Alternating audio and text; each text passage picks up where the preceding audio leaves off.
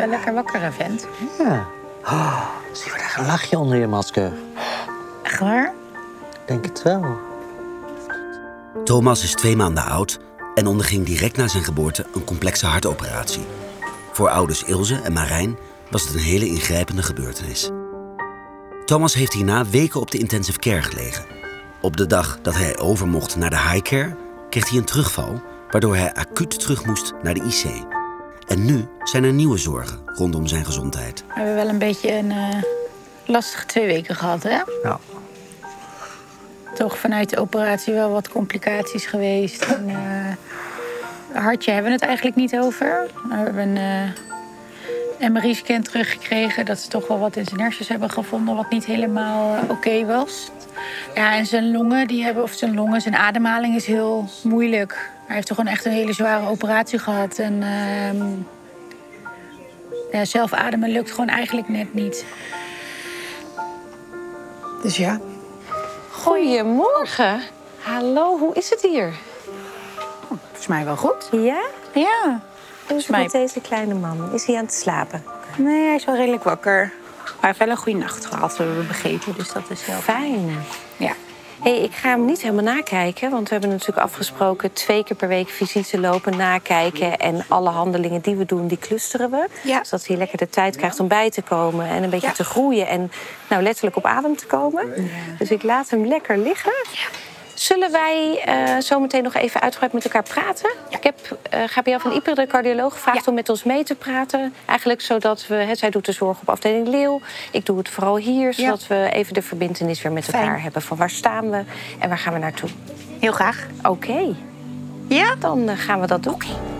Het is heel belangrijk om regelmatig met ouders te praten, zodat zij weten wat ze kunnen verwachten, wat de volgende stappen zullen zijn. En ook zodat we als team eigenlijk samen voor een patiënt blijven zorgen. Dus dan is eh, open communicatie met elkaar van beide partijen echt ontzettend belangrijk. Hey, we hebben natuurlijk nagedacht, wat is er nou aan de hand met Thomas? Waarom komt hij nou maar niet los van die beademing? Waarom heeft hij die ondersteuning steeds nog nodig? Ja. Want die medicijnen die hij in het begin had, die heeft hij natuurlijk al lang niet meer na zijn operatie. Het vocht wat hij zoveel bij zich had na de operatie, ja, dat gaat ook hartstikke goed. Hè? Heeft hij ook niet meer. Ehm, wat we wel al wisten, is dat eigenlijk hier en hier, dus in de grote luchtwegen en ook een beetje hier in zijn luchtpijp, vernauwingen zitten. Dat is één ding wat we weten, maar dat wisten we al een tijdje. Andere, wat we inmiddels weten, is dat de middenrifspier, de grote ademhalingsspier, aan één kant eigenlijk niet goed functioneert. Ja. En dat betekent dat die middenrifspier die gaat naar beneden en daardoor wordt er lucht in je longen aangezogen. En dat kan deze middenrifspier aan de rechterkant niet goed. Nou, we weten dat als kinderen dat hebben, dat ze dan moeite met ademhalen kunnen hebben.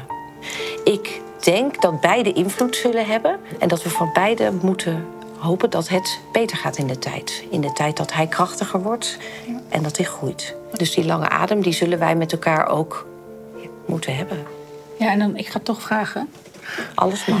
Nou, nee, ja, ja, we hebben natuurlijk eerder ook wel een beetje over gehad van... joh, ja, we moeten aan hem gaan, naar hem gaan kijken om te zien hoe lang dit duurt. En wij zijn nu zelf natuurlijk ook al wel een beetje de nodige maatregelen thuis aan het treffen met werk en zo. Ja, want hoe, dit kan nog best wel lang duren. Hebben jullie, kunnen jullie er iets over zeggen? Of is dat echt helemaal...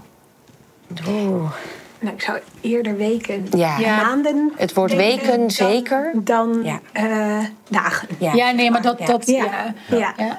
Maar ja, het verschil tussen weken en maanden is ook al groot, Ja. zeg Ja, maar. nou ja, eh, ehm, Ik denk eerder een maand ja.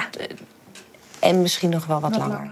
Ja, ouders willen natuurlijk altijd weten eh, hoe gaat het en hoe gaat het aflopen en wanneer kunnen we hier weg. Eigenlijk is dat vaak het belangrijkste.